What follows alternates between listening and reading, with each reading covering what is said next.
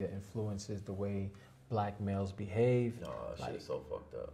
Yeah. It's fucked up, man. Like I, I think if it, you got it, someone on a brother on CNN with glasses, and he's kind of like you know talking nasally and shit. Like all of a sudden, like yeah, I mean he's like the smart one, Right. You know what I'm saying? Where where where the reality is like just because you're not just because like you don't speak the same way. And i like this is some shit i struggle with. I find myself like fumbling over words.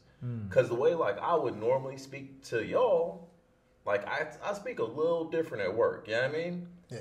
and about. switching.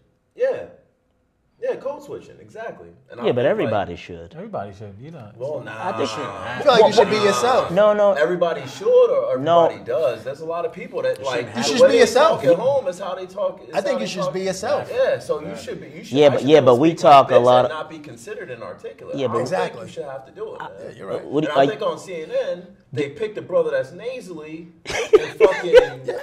I'm telling you. Yeah. Okay, Not- ma- I'm not trying to shit on nobody on CNN. don't I'm like just saying what they pick. I'm just saying what they pick. Yeah. You know what I'm saying? Well, the guys on CNN, you know, they're they're, they're nasally, they're this, they're that. Even somebody, you know, Van, Van Jo- Jones? Van Jones is a big guy, Corny.